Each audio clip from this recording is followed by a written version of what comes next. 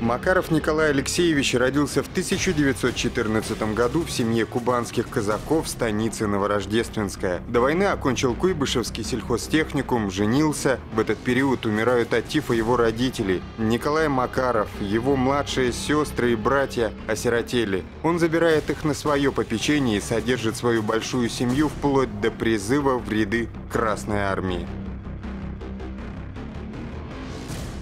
Войну он э, встретил в своей родной станице, был э, призван э, в отряды артиллерии. То есть для казаков тогда были созданы казачьи отряды.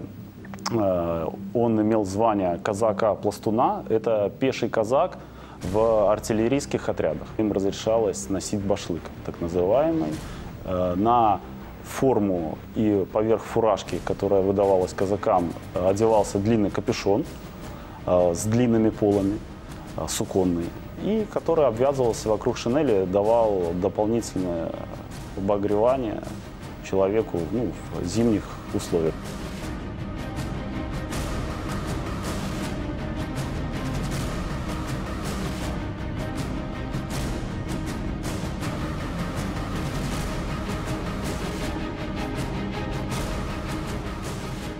Прошел за войну э, всю Украину, э, Молдавию освобождал, э, Венгрию. Ну, имеются соответствующие награды у него за освобождение Венгрии, за освобождение Будапешта. Медаль, например, которую получил дед за боевые заслуги, была за следующий подвиг. То есть дед ворвался первый захваченное немцами село, которых были всевозможные отряды и СС, и полицаев.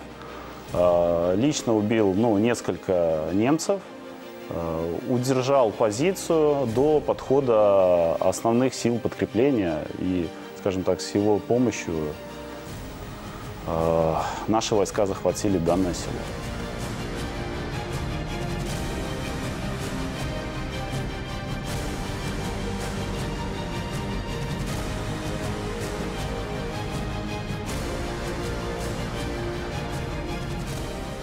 Понятно, что должно присутствовать у нас у всех чувство достоинства и ощущение того, что мы наследники тех великих, э, может, это слишком громко звучит, но действительно великих людей. И в грязи, э, под э, небом, при морозах, но победили, стиснув зубы, хорошо вооруженных и грамотных захватчиков. То есть однозначно они, конечно, герои все. То есть это не один мой дед, а все вместе сделали общее единое дело.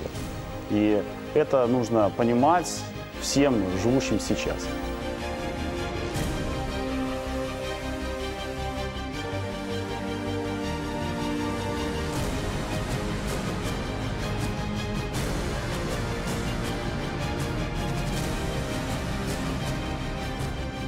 Мой дед был однозначно примером для моего отца.